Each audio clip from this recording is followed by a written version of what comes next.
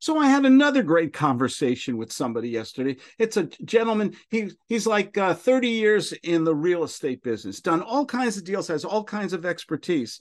And I said to him, Why aren't you consulting or coaching or mentoring these people? And he said, Well, who, me? Why should I, you know? And I said, Well, you're probably leaving five figures minimum on the table by not uh, monetizing people who have problems, who have issues, who you could help.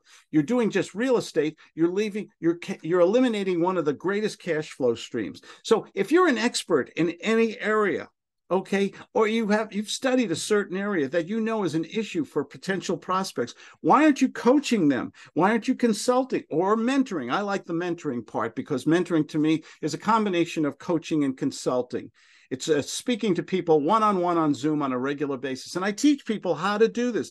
If you have an area of interest or expertise and you feel that you can help people and you give value to them, why aren't you monetizing that? It's not that hard to do. You use a simple GUTS marketing system doesn't cost any money and you get scheduled hard appointments and then you use the GUTS sales method so you know how to ask questions like a doctor a diagnostician and you have these wonderful conversations with people every day. You're making money helping other people and you get to work from your home the beach wherever the hell you want to work from okay? You just have to learn that when you have an expertise something you're good at something you love a joy of life that in particular area it can be sports it can be business business, financial, real estate, whatever it is.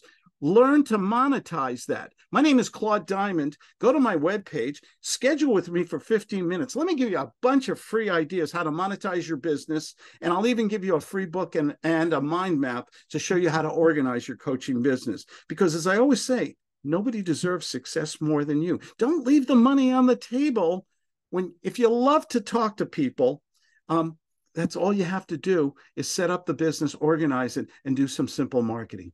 Thank you.